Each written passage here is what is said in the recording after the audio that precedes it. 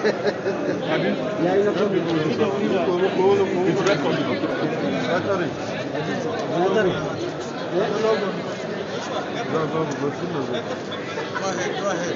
Um, national coordinator, I think NCIP not, right?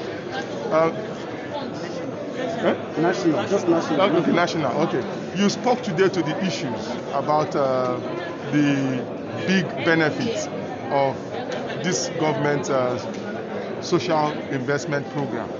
You talked about also uh, the society where we've seen uh, endemic poverty resulting in uh, you know social strife um, banditry and insecurity, and against the backdrop of the president's uh, pledge of lifting 100 million out of poverty.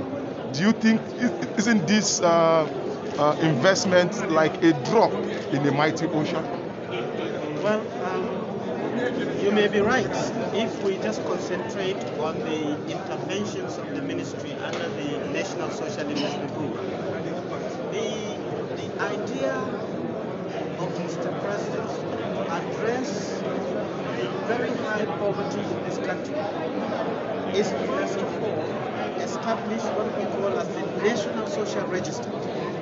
In the National Social Register, we are documenting every single poor person in Nigeria, in all the 36 states and FCT, in all the 774 local government areas, in all the nearly 9,000 wards in our nation, we are documenting poor people.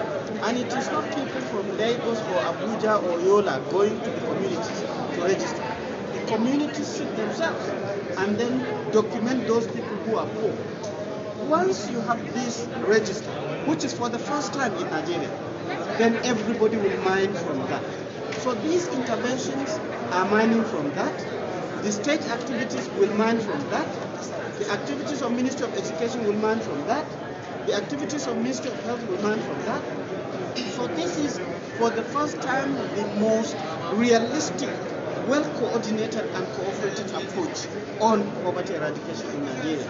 And we believe that if we continue to cooperate and work together using this model, we will achieve Mr. President's vision in even shorter than 10 years. So, uh, why the independent monitors and what are they expected to achieve?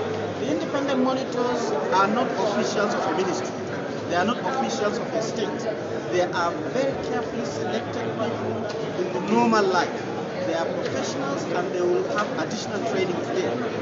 These uh, professional monitors will follow every single uh, uh, project under our interventions based on the targets, based on the indices of that project, and then document it with numbers and report exactly what is there so that we will know is it working or is it not working? Are people avoiding it or not? Is it impactful or not? It is the analysis of this data and the continuous monitoring evaluation that is going to show us the real picture of the uh, impact. Okay, how many of them are the monitors and which projects are expected as monitored by specifically? The, the, the, the, the, the total independent monitors nationwide is around 5,000. Adamawa Station. and uh, and uh, they are they are shared accordingly state by state based on the numbers that we have in terms of local government, in terms of beneficiaries, and so on. In Adamawa State, we have an average of 260 uh, um, uh, independent monitors, and they are going to cover the, the, the data that we have had read by the focal person in, on N-Power, on conditional cash transfer, on the uh, um, uh, school feeding program, and also the And doctor, this register of the poor, how many are on that register? As we speak now, we have more than 30 million people registered on that register, and it is continuously happening. Hopefully, towards the end of the year, we probably would have captured like 90% of the poor in Nigeria in that single register. And that register is available for all states, for all NGOs, for all philanthropists, for anybody who is working on poverty, because we will, for the first time, sustain the central goal of poor people to solve the poverty in Nigeria. Okay, finally, sir, how is Dr. Bindir a specialist on poverty reduction factoring the media into this? Yeah, very correct. The media, like any other community, have high flyers, medium flyers, and low flyers.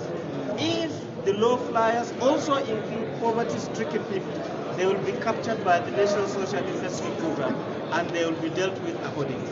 And Off to- record, today, today. Let- let- Go on, let's start.